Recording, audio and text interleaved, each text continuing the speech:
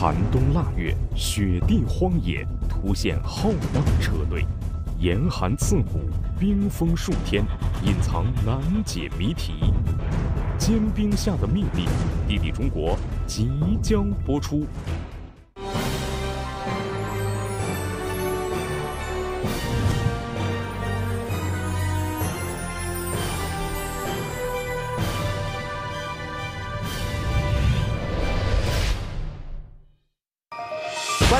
大家好，欢迎收看《地理中国》，我是老陈。位于天山南麓的塔里木盆地，这是咱们中国最大的盆地。中国第一大沙漠塔克拉玛干大沙漠就位于这个盆地的中部。每年到了隆冬时节，这里便会被厚厚的白雪覆盖。尽管雪虐风涛，奇冷无比。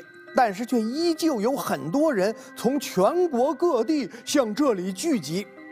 啊，说到这儿，您可能有些不明白了，这些人到这个天寒地冻的荒野当中，这究竟是要干什么呢？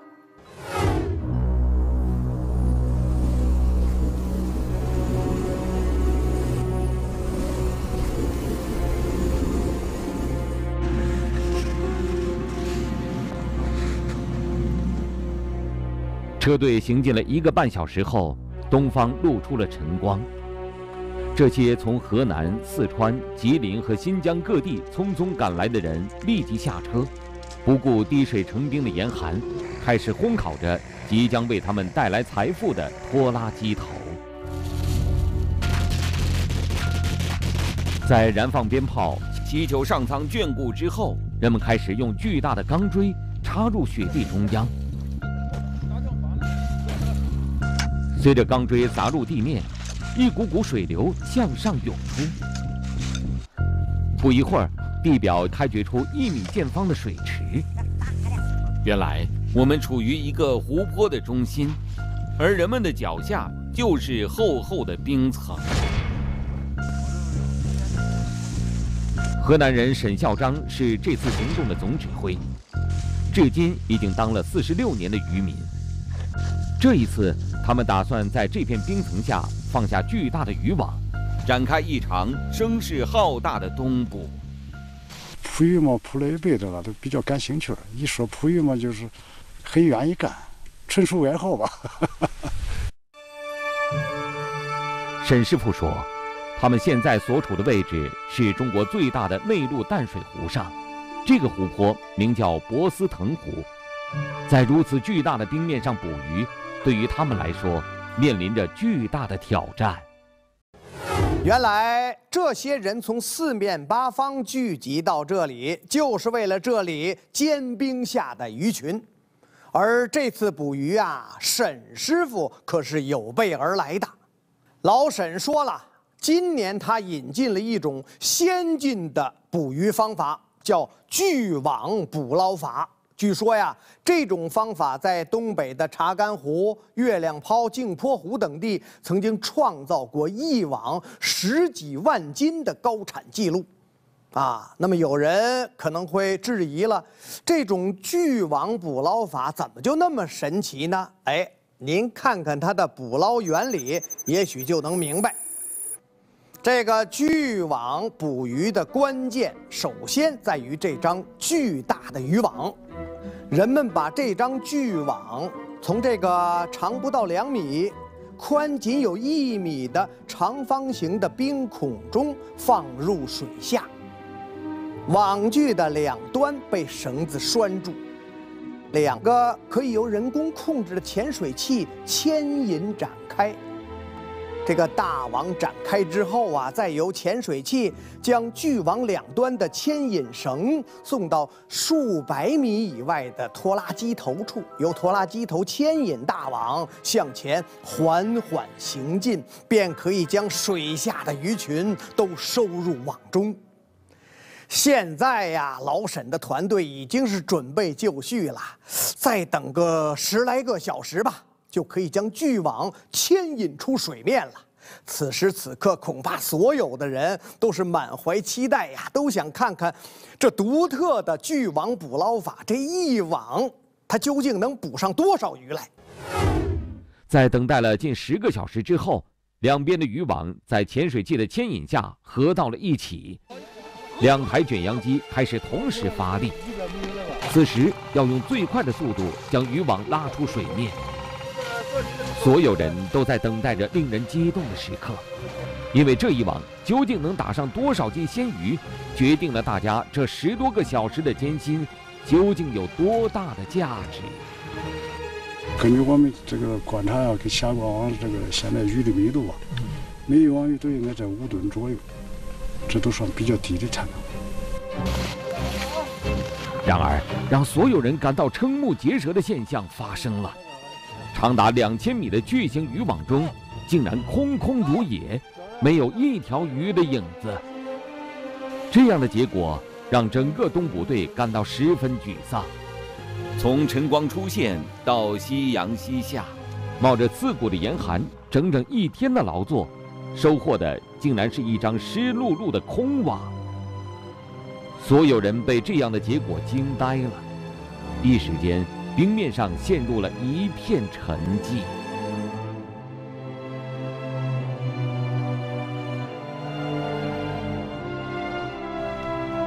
紧接着，在第五天、第七天、第九天、第十一天，老沈指挥东捕队连续打捞了六网，竟然都以失败告终。沈师傅简直不敢相信自己的眼睛，因为这在他四十六年的捕鱼生涯中还是头一次遇到的奇怪现象。我这我没从来没牙疼过，就今年这这几天搞的牙疼了，就是考虑考虑这咋回事？网具也没少调整，各种各样的方法都想过来了，啥样办法都想完了，怎么还捕不上鱼？接踵而来的失败，让这些原本信心满满的人们变得不知所措。啊，您看，把沈师傅给急的，这火上大了。从博斯腾湖开始结冰，到今天冰冻三尺，可以上冰下网，沈师傅他们四十多人呐，可是准备了很长的时间。要是这样下去的话，大伙儿可就没钱回家过年了。这偌大的博斯腾湖竟然连一条鱼都捞不到，你说，这不见鬼了吗？这不，博斯腾湖近年来一直是整个新疆乃至整个西北鱼产量最大的湖泊之一。既然博斯腾湖鱼产如此丰富，可为什么到了冬季这里的鱼儿就不翼而飞了呢？难不成？是博斯腾的湖水受到污染，不再适合鱼儿的生存了吗？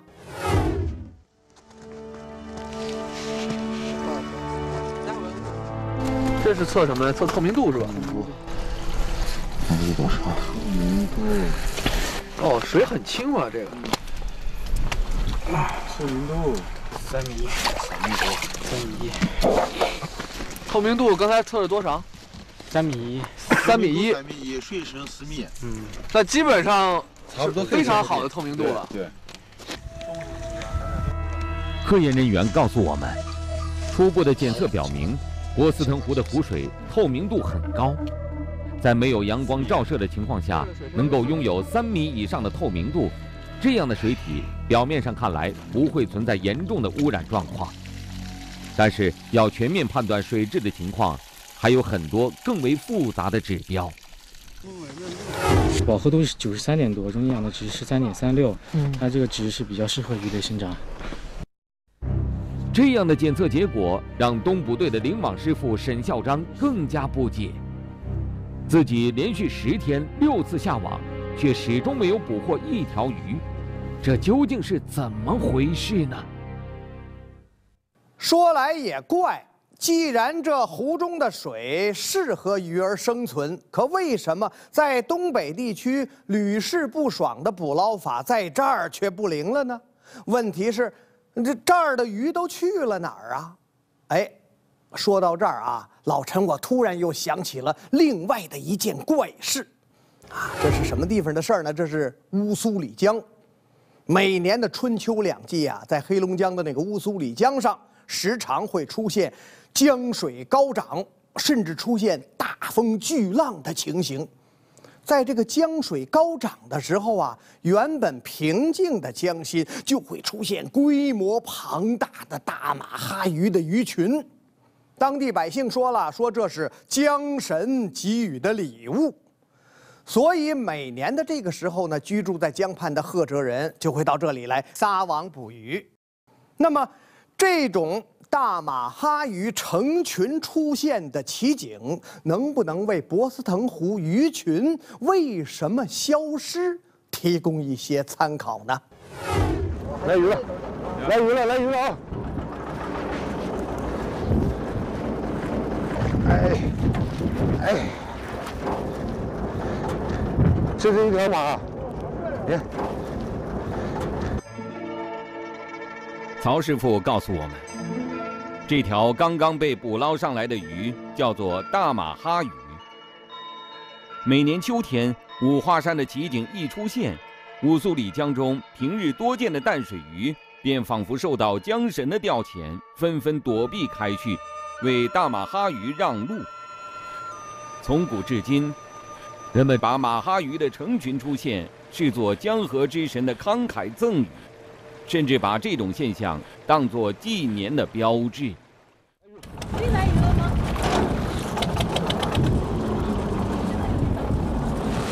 这是这是马哈鱼吗？这是马哈鱼，这是个公鱼。这是我们今天打上来的第一条马哈鱼，真的。这带钩。它牙还挺尖的，我啊，还是别的小鱼。啊，还是活的，哎。能掂一点吗？哎，可以。这条鱼它有滑滑的，六七斤吧。六七斤。哎，六七斤重。特别沉的一条鱼。最大的应该比这大很多。哎，对对对，这是个小的。大概能到我的膝盖，膝盖上。膝盖的高度，五十多公分。这是条母马哈。它上来的时候还是挺活跃的，是一条母马哈。哎哎。嗯。快动！我怎么看见一条活马哈鱼？江里面这种马哈鱼还有很多呀，听说每次捕上来都有一网最多的时候有二三十条呢。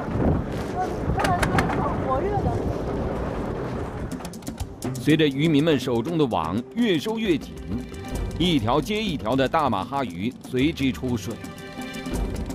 渔民们使用的网眼直径在三到四寸之间，这样的设计能够保证把尚未成熟的小鱼放归自然。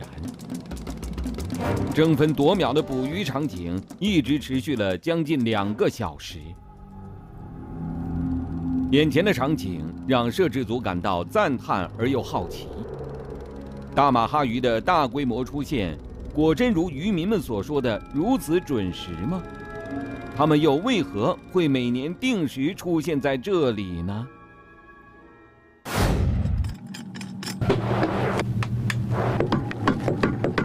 为了更加清楚地探明乌苏里江此刻的鱼类分布。马博士决定动用先进的雷达探测技术进行调查。这是我们的鱼探仪，这是我们的鱼探仪的探头。啊，我们呢要把这个探头放到水下，啊，通过这个探头的发射那个声波来探测鱼群。呃，这个波形呢就是通过这个我们的发射器，啊，探头发射器发射的声波返回的图像。因为咱们水太浅，咱们还得往水深的地方。对，我们还要到水深的地方去啊，这是鱼的真正有鱼的地方，我们去探测它。不一会儿。鱼探仪上出现了大量的信号，往往在水下的信号是都是鱼啊，或者是水下的物体反射的信号。在水底以上的信号呢，一般都是判断为鱼，就是浅蓝色的这一些是吗？啊，对我感觉是应该有很多，像这样的一个信号，应该都是大马哈鱼的信号，主要是通过它的颜色来判断。啊，这样一一小竖条是一条鱼的意思。对，看起来还是很多的。对，我们看一下，特别你看在这些信号中，水深变深，你看水深变深的时候呢，它在在上面也有一些特别强烈的信号。马博士说，此时的江底有大量的大马哈鱼正在逆流而上，鱼群的信号几乎布满整个河道。专家说呀，说这种现象呢，其实是鱼类的一种生活习性，也就是洄游。而洄游呢，一般分为三种：索尔洄游、越冬洄游，还有产卵洄游。而大马哈鱼呢，则属于产卵洄游，它们生于清澈的溪水之中，啊，这个一旦出生，便沿着河流向海洋游动，等长大成熟之后呢，又不吃不喝，从海洋沿着江河逆流而上，按照当年去往海洋的原路，回到自己的出生地，繁衍后代，随即死去。那么，博斯腾湖中消失的鱼群是否与洄游有关呢？如果与此有关，那它属于哪一种洄游呢？如果与此无关，那它们又都去了哪儿呢？为了更详细的考察这一带的地理特征，考察组驱车离开了湖面，来到了正对着湖水最深点、位于湖泊南岸的一片山丘之上。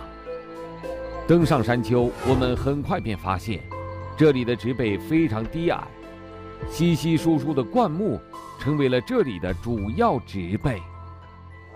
专家告诉我们，这座山岭位于博斯腾湖南岸，宽度超过了五十千米。我们所在的地方不过是其靠近湖泊边缘的部分。正在这时，我们发现。在远处山梁之间的开阔地，出现了一些高大的身影。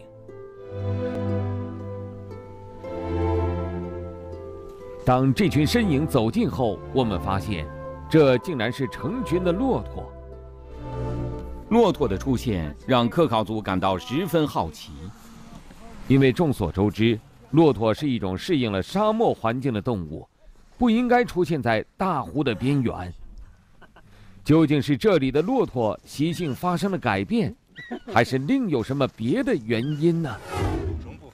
当考察组将地表深深的积雪拨开，我们惊讶地发现，脚下竟然早已是一片金黄的沙砾。查阅资料后，我们发现这片沙漠很可能是中国最大的沙漠——塔克拉玛干大沙漠的沙砾。在远古时，顺着风向移动到了这里。高达数百米的沙丘绵延三十千米，一路与湖泊南岸相连。看到了这样的景象，专家推测，尽管沙丘与湖泊相连的地方是整个波斯腾湖的最深点，但是这里一定不会有大规模的鱼群。既然是博斯腾湖的最深处。那应该是空间呐，温度适合，应该是鱼类过冬的最佳场所呀。但是为什么这里就一定不会有大规模的鱼群呢？专家说了，说博斯腾湖南岸的大片的沙漠就告诉了你这其中的原因了。这片沙漠呀，确实很大啊，它与这个湖泊相连，在水下就形成了面积广阔的沙滩。你看，咱们人类一般都不愿意到沙漠中去生活，那就是因为沙漠地区环境恶劣，资源匮乏。这鱼儿其实也是这样，它们也不愿意在这样的地方生活。考察组在观察湖水深浅的同时，还需要找到什么地方饵料丰富。哎呀，这可是有点难度。在博斯腾湖广阔的冰面下面，哪里才是水深合适又饵料丰富的水域呢？哎，就在这个时候啊，考察组发现了，在博斯腾湖的西北方向，是一片开阔而平坦之处。远远望去，那应该是一片水生植物吧，绵延起伏。所以考察组决定驱车前往，也许会有收获。当我们驱车沿着湖泊的边缘来到这片平坦的开阔地后，眼前的景象让我们感到非常惊讶。这里竟然密密麻麻长满了一眼望不到边的芦苇。这些芦苇平均高度接近六米，最高的能够超过十米。放眼望去，简直就是芦苇组成的海洋。看到了这样的景象，专家感到十分兴奋。他告诉我们，正是这一带处于天山脚下，天山融水在进入博斯腾湖之前，会流经这一带广袤的平川。这里地下水位很高，土壤中各种养分充足，加上新疆强烈的光照和温差，使得芦苇在这一带成为了优势物种，绵延百里不绝。而如此大面积的芦苇在这里自然生长，意味着博斯腾湖的西北水域中很可能拥有大规模的鱼群。这样的推测，使东捕队再一次坚定了信心。他们立即将巨型渔网运至湖泊西北角，这个叫落霞湾的湖湾旁。再一次破冰，又一次下网，这一次能够盼到期待已久的丰厚回报吗？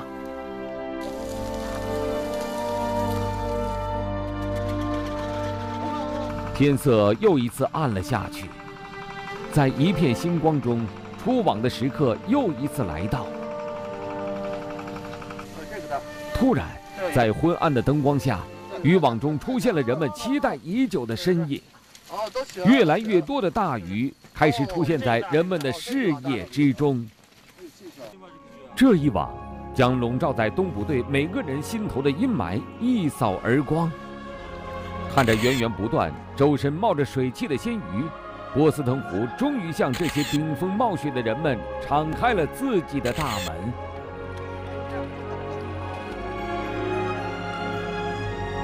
直到第二天黎明，幸福的收获仍在继续。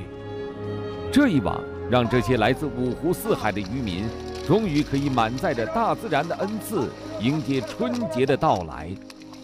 人们终于在坚冰之下。期盼到了严冬中丰收的喜悦。